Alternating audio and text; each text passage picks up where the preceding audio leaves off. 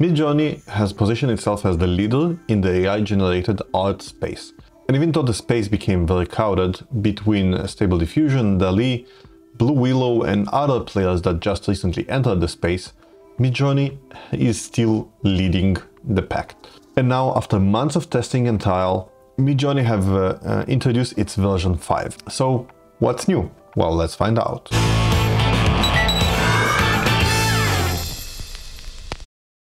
Few weeks ago, I published my tutorial on Midjourney 4 and it's been tremendously successful. It had over 200,000 views and brought over 3,000 people into the Hacking Modern Life Discord. By the way, join us in the Discord as well. In this tutorial, I taught how to use Midjourney from beginner to an expert, including how to generate your own AI avatar. And a lot, a lot more. Be sure to check out this video where I have a whole detailed tutorial on Midjourney channel. Midjourney has released four versions in 2022, version 1 in July, 2 in September, 3 in August and 4 in November. And version 5 has been released in March 2023. For the past few weeks, Midjourney have been publishing all kind of images from Midjourney 5 and letting people rate them to see which ones are the best. And now, finally, Midjourney have allowed us all to use that new version. So what is new? First, you will notice that hands are mostly fixed. For example, this photo of a woman waving goodbye. Notice that most of them, I think actually all of them, actually have five fingers and a purple structure of the hand. Let's upscale number four here and you see a purple hand. Compare that to uh, those hands here, which are basically nightmare fuels. For example, that number three or that number one, where the hand is flipped or the fingers are cut and so on. Generally, AI is notorious for how hard it is to generate uh, fingers and uh, version 5 is much much better than anything before. However, it's still not perfect. Midjourney 5 images also have a way wider dynamic range, which means the difference between the dark areas and the bright areas of the image. So for example, check this one out. Let's start with version 4 and then we'll switch to version 5. You can see here that the color in the images is rather flat, right? The background and the shadow are pretty similar in uh, their brightness. Compared to version 5, where you can see that the blacks are almost exactly blacks and uh, the white became very very bright. Pretty beautiful. I just have some chills down my spine just looking at that image. Midjourney 5 is also much better at understanding natural language. So, for example, if I say a cat eating an ice cream, I really don't know what's up with me and ice cream today. I guess I just really want ice cream. A cat eating ice cream is very different than cat and ice cream or cat and ice cream. Check that one out. That one is super cute. Okay, here we have a cat with a double-decker ice cream. It's crazy how realistic everything is, except for that idea of the second bowl of ice cream is kind of stacked on top of the first one. Then that one came out as a, um, like the cat being an ice cream. And here we have the cat and the ice cream basically like looking at each other. Very, very different. Midjourney is also much much better at generating realism and in fact it will go towards more realistic images by default. Interestingly enough, with that uh, emphasis on realism, Midjourney 5 also can emulate a lot of different lighting conditions and lenses with very different lighting very easily. To get full control over Midjourney 5, it really helps to have all the different photography terms nailed down. Like for example, uh, what is the difference between backlight and front light, flat light versus Rembrandt lighting, and also the different lenses that could be used. In order to make all of that easier, I will link in the description my light and lens guide that will give you examples of generated images with different lighting and different lenses that you can use in your own images. For example, a dark little medieval town with volumetric lighting, V5, versus spotlight. And now let's add lens instructions. So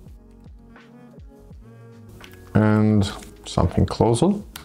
And let's compare all of this and how it looks and how it behaves. So here we have a medieval time, town with volumetric light. Now we have some spotlight and you can see there's a lot less of this fog and kind of diffused light, but rather more precise. And at 25 millimeters, you see a wider kind of image from closer. It almost looks like toy houses. Compared to that, that looks a lot more realistic or maybe like a, a 3D video game. And here we have a 85 that kind of zooms a lot more. And again, with spotlighting, it's funny enough that Midjourney decided to make it more of like a puppet town even though we did not give those instructions in the prompt itself. Midjourney 5 is also a lot, a lot better at complex prompts. So for example, anthropomorphic cat, Pixar style, similar in style to the Last Supper, sitting around a table. Well, in case you don't know what anthropomorphic means, it means human-like. Playing poker in a dark, smoky room, inspired by realistic animation, elements from Pan's Labyrinth and other Guillermo del Toro works, scary and cute at the same time. Let's run this and see what we get. And you can see I use here the aspect ratio of 16 by 9, so a widescreen aspect ratio. And it becomes very stylized and very, very realistic and actually what I imagined. Those are anthropomorphic cats, Pixar style, playing poker in the style of The Last Supper. Or, for example, knolling. Knolling is always fun, right? Knolling is the art of putting objects in a pattern. So let's see how V5 does it. And here we have beautiful knolling of photography equipment. Thank you, Jean, for sharing with me the knolling prompt. That is really awesome, except that lens is pretty crazy. And look, it almost got Canon properly written here. Another thing that was fixed in uh, Midjourney 5 compared to Midjourney 4 is uh, the aspect ratio. And now Midjourney 5 basically supports a huge variety of aspect ratio. It's no longer limited to 2 to 3 or 3 to 2 like Midjourney 4 has been. And you can even do anamorphic uh, aspect ratios, which basically means like the cinema. Usually it's 239 by 1. However, Midjourney does not support floating point, so like decimal point inside uh, aspect ratio. And so you can just multiply it by 10. So basically, instead of 239 by 1, you write 24 by 10. And here we have a blue smurf plotting revenge at an anamorphic aspect ratio. Midjourney 5 is also bringing back the tile parameter that allows you to generate tiling images, which is pretty cool if you want to do textures or repeating wallpapers or any images that kind of repeat on the corners or on the edges. Check this out. So let's generate an radioactive detailed grass with mushrooms and make it tile. And you can see that those images repeat on the corner. You see the piece of mushroom here is the continuation of the mushroom here. And here and here is the stem of that mushroom. One of the most popular uses of Midjourney is to do AI self-portraits. And Midjourney 5 have become much, much better at that.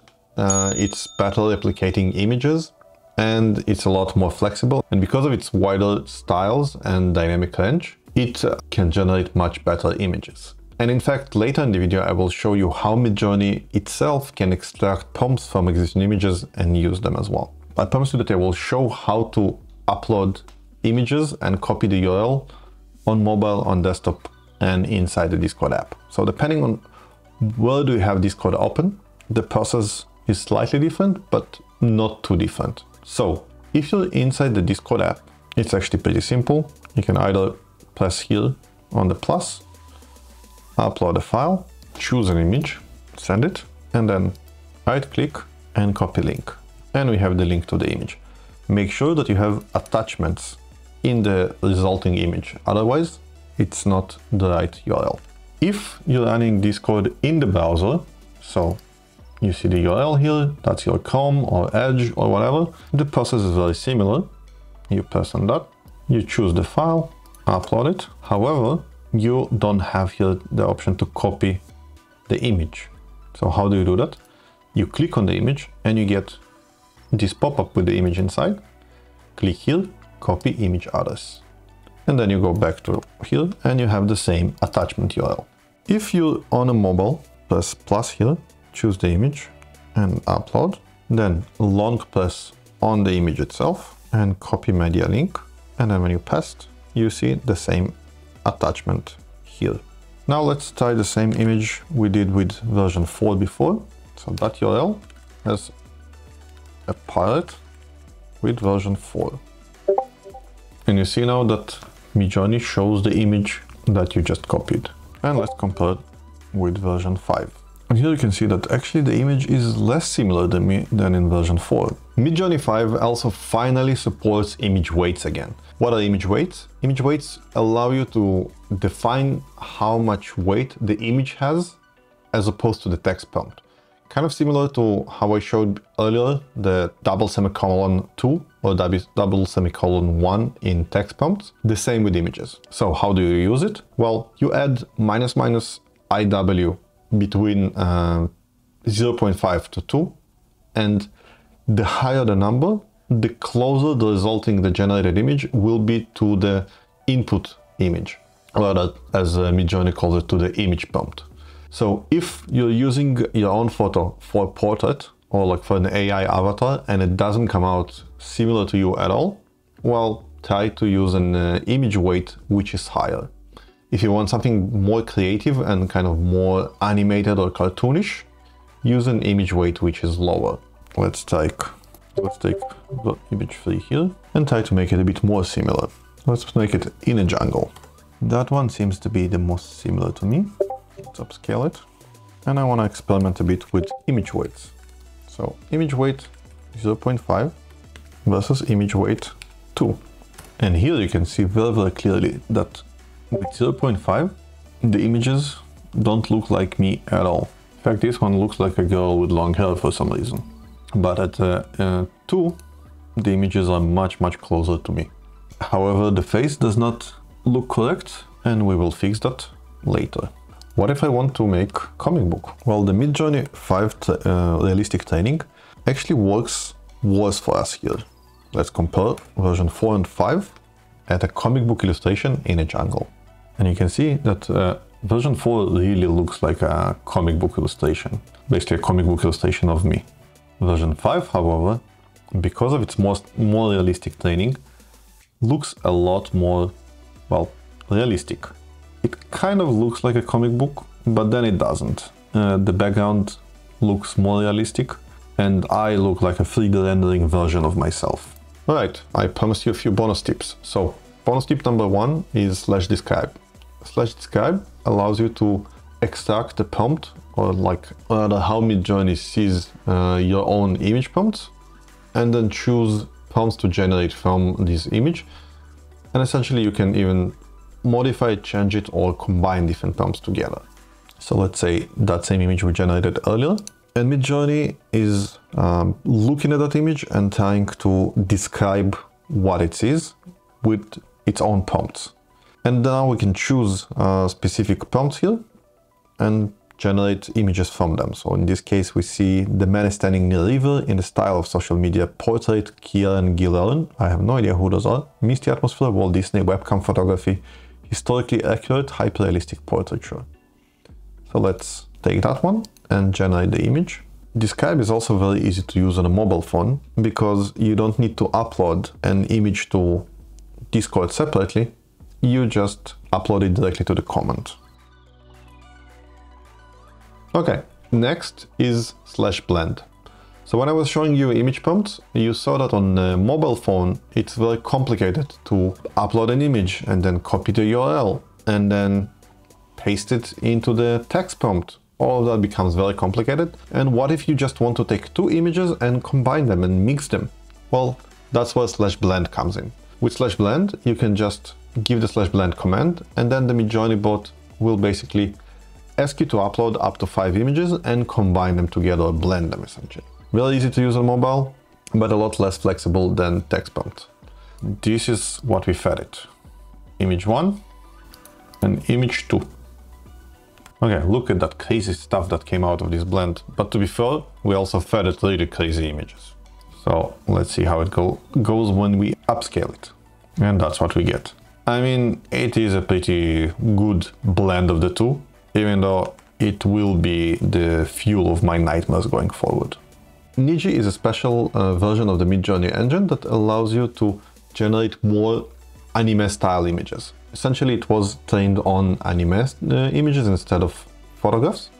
And because of that, it generates much more Japanese cartoon style uh, images. Midjourney has Niji version, both for version 4 and version 5. It can be fun to generate those images, but again, it's less flexible than the default engine. Here is the image with Niji, and here's the exact same prompt with V5. Right, second batch of tips, because you love them so much and I love giving you tips. So, let's say you generate a Midjourney image and the face in the image is completely broken. Well, previously I showed you GFPGAN, but there's a much better algorithm available now. It's called CodeFormer, and when you feed it an image, it um, basically upscales it and cleans it up. Keep in mind that in order to use CodeFormer, you need to sign in with GitHub. It's free, but you still need to have an account. And then you can just upload the generated image. You can upload the generated image with a broken face, and it will fix the face and make it more kind of smoother. What if you want to take an image you generated from Midjourney and you want to print it on a canvas or make it, you know, an art piece for your living room?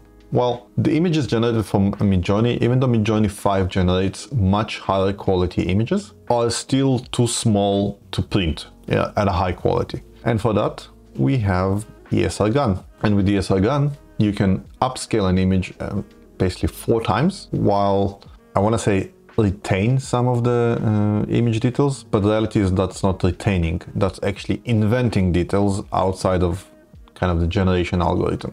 And then you can use it for free on Replicate as well, the same way that you can use uh, GFPGAN or CodeFormer.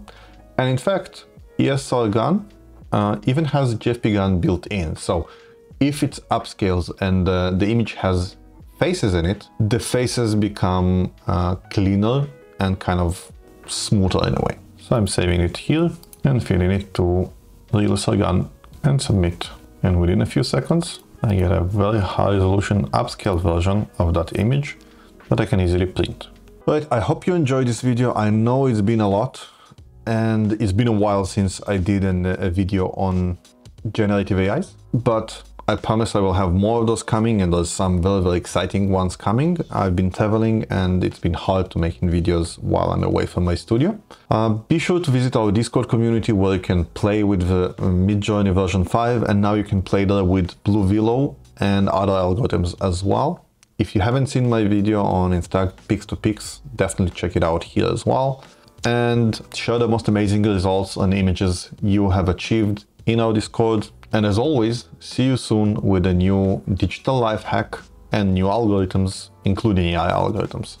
And speaking of algorithms, be sure to like and subscribe this video so the algorithms knows to recommend it to more people. And until next time, bye bye.